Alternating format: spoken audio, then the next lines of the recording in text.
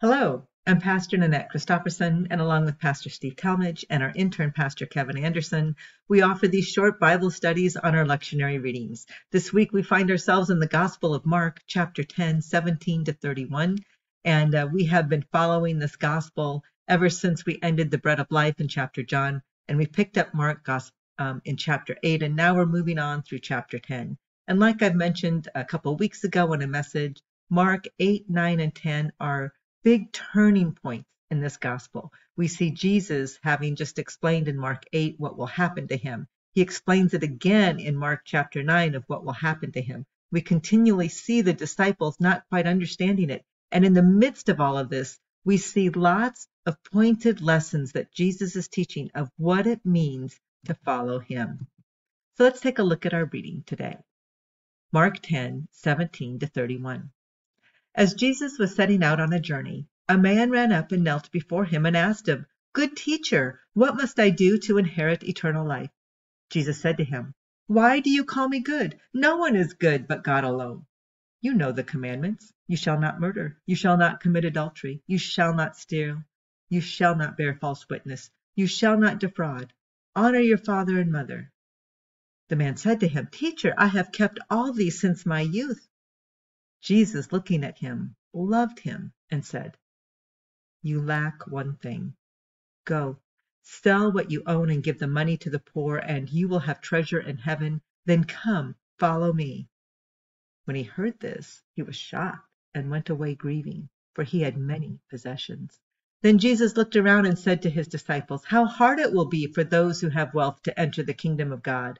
And the disciples were perplexed at these words. But Jesus said to them again, Children, how hard it is to enter the kingdom of God. It is easier for a camel to go through the eye of a needle than for someone who is rich to enter the kingdom of God. They were greatly astounded and said to one another, Then who can be saved?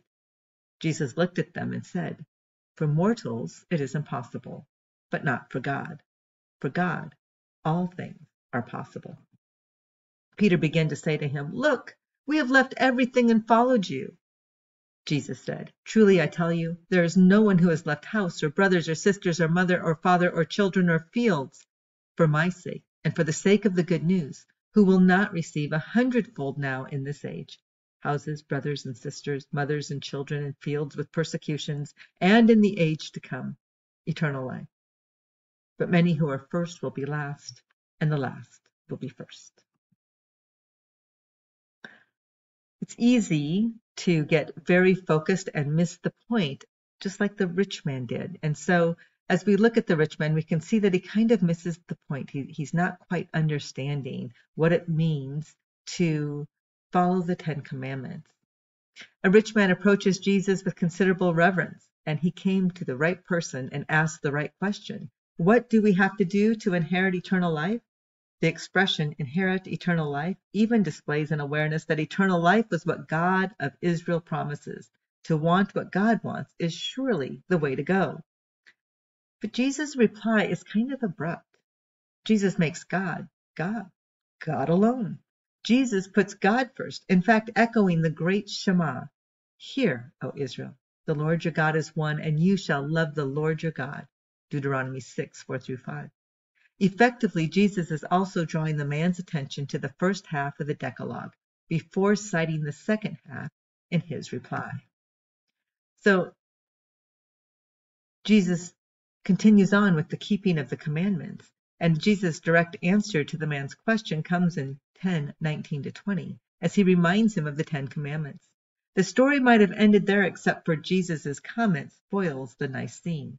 Obviously, Jesus did not understand love as implying avoidance of issues, as too frequently happens. Out of love, he challenges the man. One thing is missing. Many find what is missing in what follows, and this must surely be true. But how are these words to be understood? How do we gain eternal life? Is Jesus saying that to gain eternal life, the man must now do three things keep the commandments, sell his goods, giving the proceeds to the poor, and thirdly, follow Jesus? If that were so, then Jesus is being rather unfair telling him that the way was to keep the commandment. it would still imply something is missing from Jesus' answer.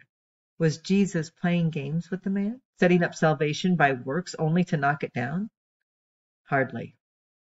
Rather, Jesus' challenge to the man to sell possessions, give to the poor and follow him, was a way of exposing a flaw in the man's keeping of the commandments. Admirable as the man's effort had been, he had missed the point of the commandments. Jesus' challenge exposed what was missing a sense of compassion for the poor.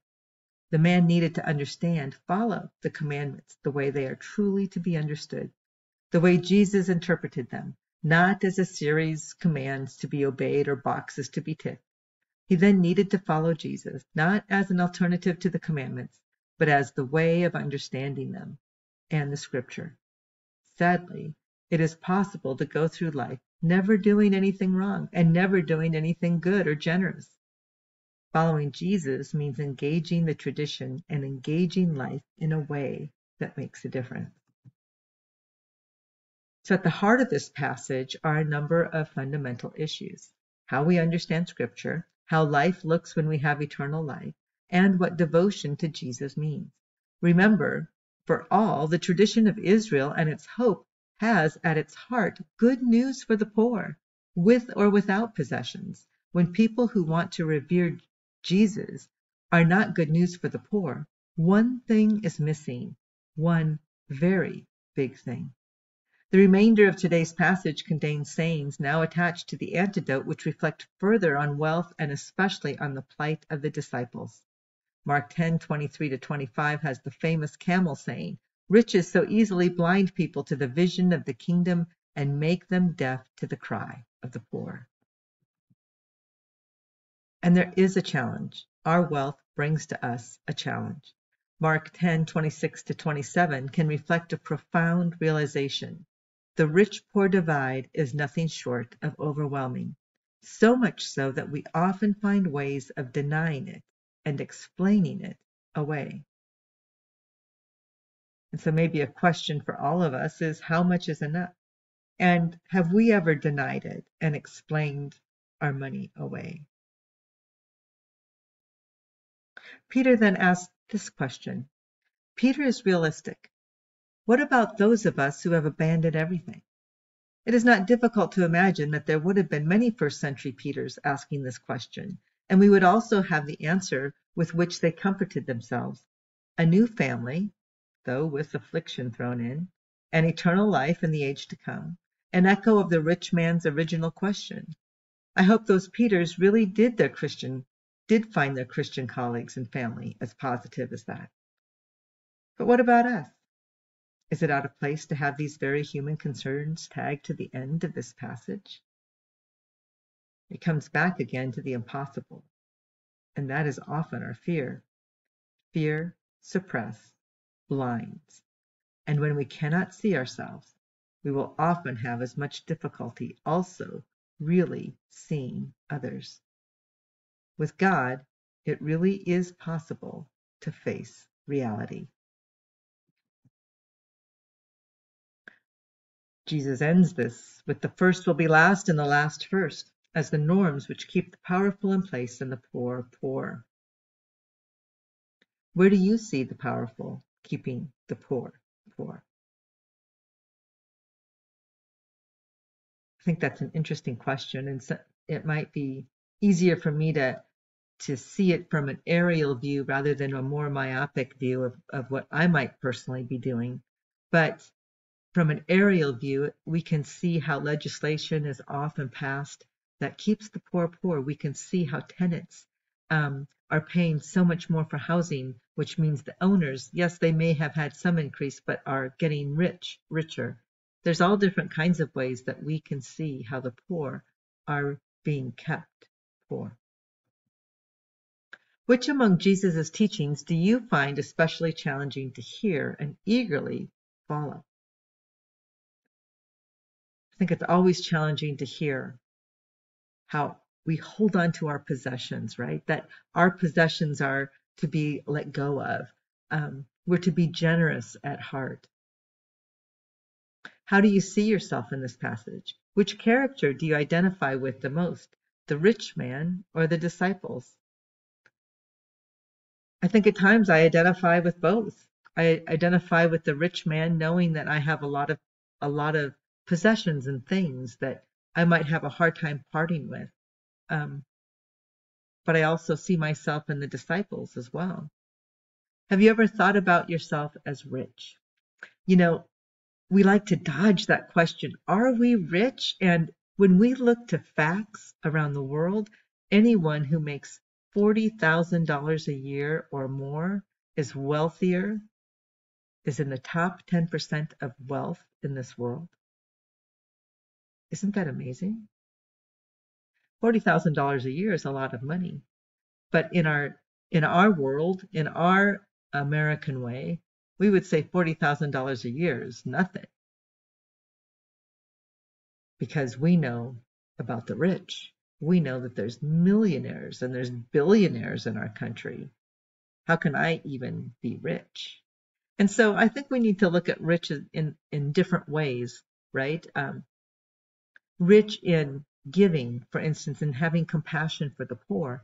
Doesn't matter how much money you make a year, you can have compassion for the poor. Um, and many, you know, I think the point that Jesus was trying to make is that oftentimes our wealth blinds us from even seeing others.